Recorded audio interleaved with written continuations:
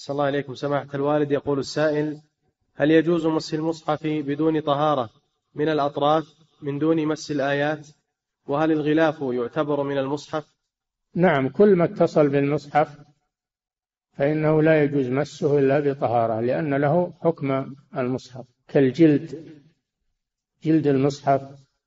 أما ما كان منفصلا عن المصحف كالكيس الذي يجعل فيه أو التابوت الذي والصندوق الذي يوضع فيه المصحف فهذا ليس متصلا بالمصحف يجوز مسه وحمله.